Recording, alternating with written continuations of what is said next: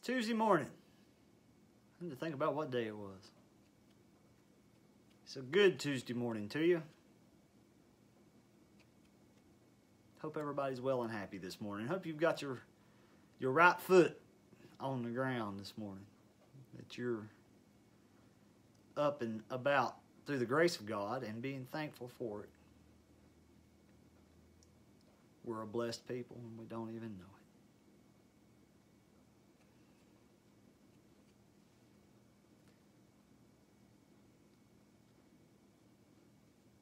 Good morning, Kayla. Hope you're well and happy this morning. Hope you and Archie are doing well this morning. Hope everybody's doing well this morning.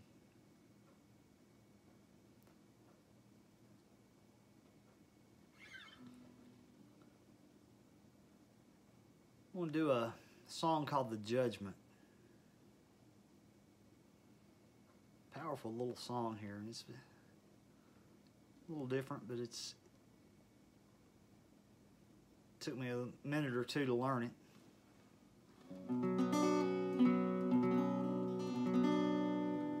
It's a beautiful song. Just listen to the words of the song.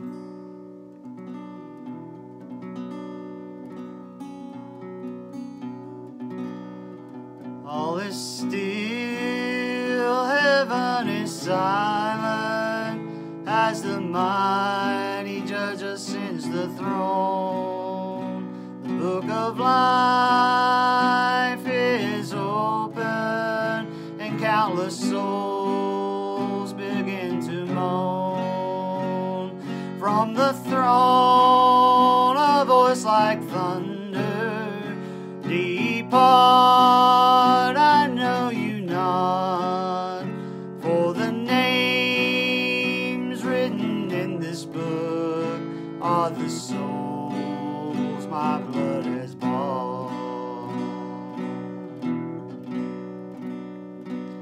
Faces turn as into the courtroom comes the very seat of sin. He who was the saints' accuser must face the charges against him with the fury of all the ages. That demon voice cry. It's not fair, I almost had you on Golgotha. I watched you die. Then Satan begins to tremble as his fate to him is known. From the throne comes the verdict,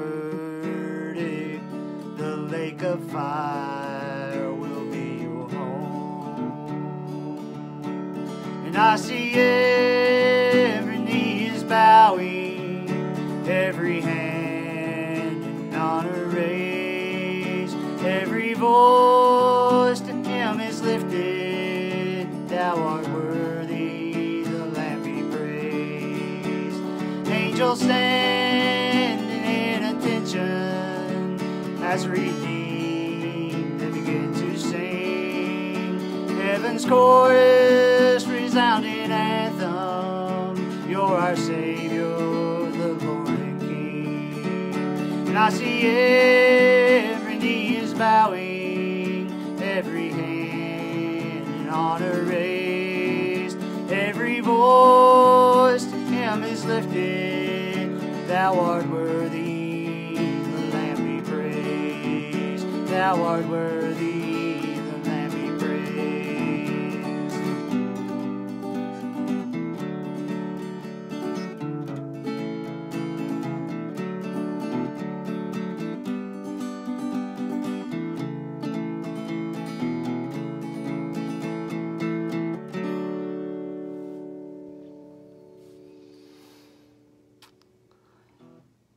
day's coming. That day's coming. It's not going to be long either. It's not going to be long until we're there before that throne, and it's going to. You're going to hear one of two things. It's either going to be enter in, my good and faithful servant, or it's going to be depart. I know you not. Where do you stand today? If that day were today, what would your verdict be? What would you hear the Lord say to you? My prayer is that it would be enter in, my good and faithful servant. I'm doing my best to be that good and faithful servant, so I hear those words. I can only answer for me. I can't answer for you. You'll have to answer for yourself. Where do you stand? Where do you stand? If the if today was the day, if today was that day, and you had to stand before your Lord and say say what you had to say, to give your account of your life, to present yourself, where do you stand? Where do you stand with the Lord today? If you come before the judgment throne today, where would your eternity be? Honestly, answer that question today. I always say, here's you something to think about today. Well, here's, an, here's something that you need to honestly answer today. Today's the day of salvation. If you cannot know within a shadow of a doubt, knowing inside of your heart and soul that you're going to hear those words, enter in, my good and faithful servant. If you've got any doubt in your mind that you're not going to enter, enter, hear the words, enter in, my good and faithful servant, change is all it takes. Turn around and walk towards Jesus. Because if you're not uh, walking toward Him, you're walking away from Him. If you're not following Him, you're getting further and further away from Him. Choose you this day who you will serve. Today is the day of salvation. And as you think about that, remember the good Lord gave you another opportunity for a reason. He gave you another opportunity for one reason because He loves you. He loved you so much that He sent His only begotten Son to die on a cross to give you the opportunity to live forever. What you do with your opportunities is up to you. How you live your life is up to you. Can't nobody make you. Can't nobody else answer for you but you. So today, make up your mind. Before the judgment gets here, before the judgment's there and it's too late, before you have to hear those words, Depart, I know you not. Those are the saddest words in this English language, in any language. Depart, I know you not. That's five words that nobody wants to hear. Nobody wants to hear those five words. Depart, I know you not. When it's so easy and so simple to just invite Him into your heart, serve Him with every ounce of your being, walk in His light, shine His light for Him. Let Him shine through you.